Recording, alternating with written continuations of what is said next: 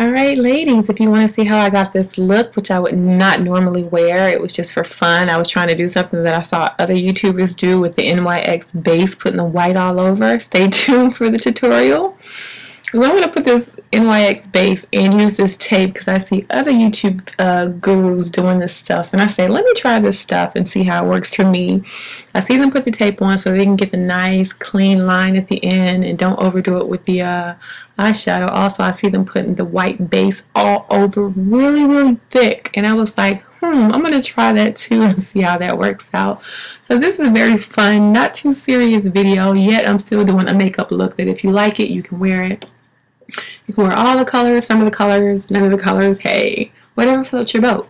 But this was very fun for me. Don't take it seriously unless you actually like the colors. Um, so here you see me putting the NYX white, it's basically the NYX Jumbo Pinks with milk all over. Then I'm going to take, uh, it's a lime green color by CoverGirl. They only have um, one color of this particular color, so whenever you go I don't know the name of it, but I guess when you go to CoverGirl, you'll see the color and just buy it if you like it. Then I'm going to take um, an orange color. It's a Halloween uh, makeup. I forgot where I get this from. I had this for a long, long, long time. Bloody Mary Press Eyeshadow. Um, it's like I said, it's a Halloween color, but you can use any orange that you can get your hands on. I probably got it from a costume store, like where they sell Halloween costumes. Ain't no telling, but it, it's definitely Halloween makeup. So it'll probably be sold wherever they sell Halloween costumes, I guess. Then I use this orange color by MAC. I forget what it is, but orange MAC doesn't have that many orange colors, so whenever you go in the MAC store, just be like, whatever orange you got, let me see. Um, I guess you'll figure out which one you want from there once you see them. It probably was Rule, R-U-L-E. I don't remember, but MAC doesn't have a lot of oranges. Then I took the Virgin color out of the Naked One palette and put that under the brows for highlight. Then I use I Love Matte Wet n Wild palette. I use a purple out of there and then I use a black out of there to define a V shape in the crease area. I used the purple first and then I put the black on. This is a very, very colorful, color, colorful look here. Here you see me using the black out of the uh, I Love Matte Wet n Wild palette. And that totally covered up the purple. Oh well.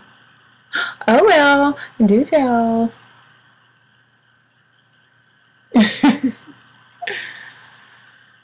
Yeah, that tape's kind of rough. So I'm going back in that lime color eyeshadow by CoverGirl and going halfway under my eye. And the other half I'm going to use an orange. I think I'm going to use that MAC orange that I had earlier for the other half of under my eye. Yeah, I am.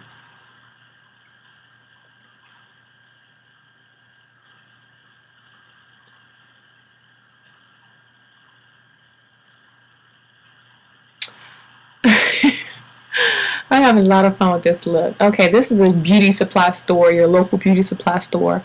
Santee, S-A-N-T-E-E.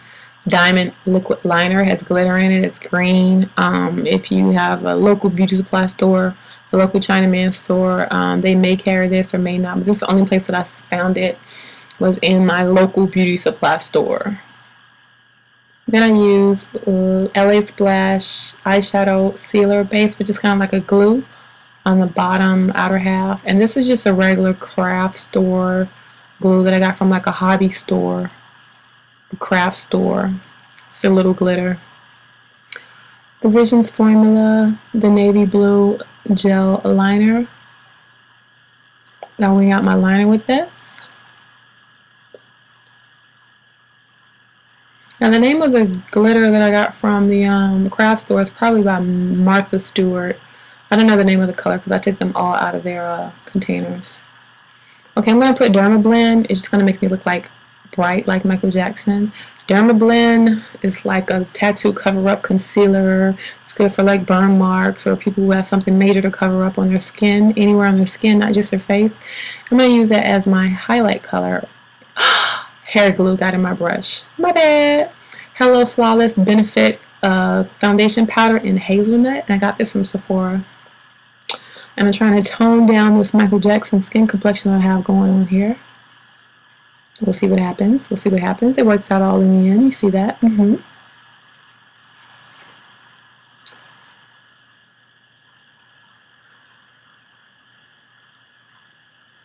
Then I'm going to take this Physicians Formula Healthy Wear Bronzer and Tan. I got that from the drugstore. I'm just going to put that in as my contour. Trying to get my complexion right since I made my face really, really bright with that Dermablend concealer. And I think the Dermablend concealer, I think it was in Warm Ivory, if I'm not mistaken. I'm going to use Gold Deposit Mineralized Skin Finish Bronzer by MAC to give a nice little glow to the cheek. I'm going to use my e.l.f. Flawless Face Palette that I got from Target, Target for 5 hot dollars and use that blush in there. So I hardly ever use this thing, so I figured I'd use it. But it wasn't enough, so then I went behind that and used another blush Corallina um, by Milani. It's a baked eye, I'm sorry, it's a baked blush. Corallina, Corallina. Then I'm using Temptation. Uh, I think it's by CoverGirl. It's an orange lipstick. And that completes the look. I hope you ladies enjoyed this. I had so much fun playing in my makeup that night. It was like 3 or 4 o'clock in the morning. And I was just playing in my makeup, honey. And this is what I came up with. Love some.